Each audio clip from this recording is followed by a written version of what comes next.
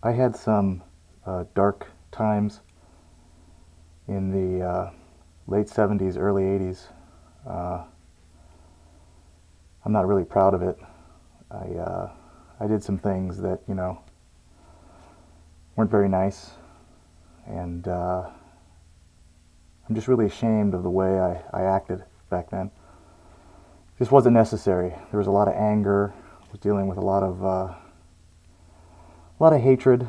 And, uh, you know, it just kept bubbling up inside of me. And I, uh, I just wasn't happy. My life was going nowhere fast. And I was blowing up planets left and right. But, uh, I just, I had this emptiness inside of me, you know. I was just angry all the time, angry at everybody. I would just walk around and just choke people, you know, for no reason at all. The kid that would bring me my coffee, uh, I would just choke him because he didn't put the creamer in it. And, you know, it wasn't his fault. He didn't know that I wanted cream. I didn't even have to be standing near somebody when I choked them. I could just do this and choke them from across the room. So, it, you know, I was getting really good at it. And, uh, it was at that moment where I just knew I needed to find something. My son, he wouldn't even talk to me.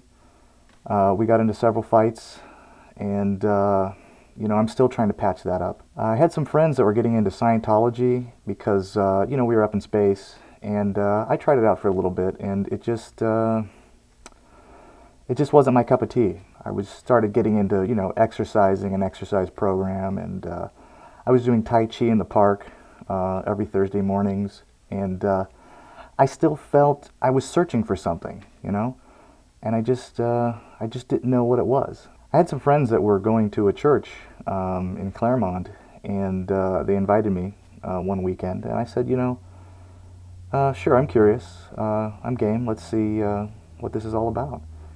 And when I was sitting there, it just struck me. I mean, this is where I needed to be.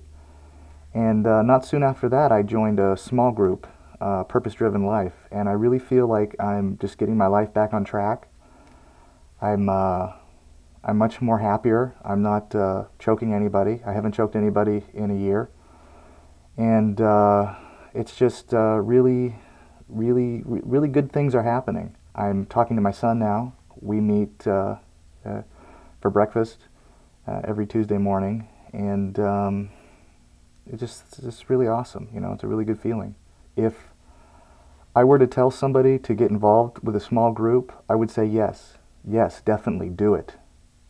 Do it. No, I'm just joking. Just joking. It just it really turns lives around, and um, it's just an awesome feeling to get involved. And uh, it's just uh, this is where I need to be. And um, I mean, you too could turn your life around. I did.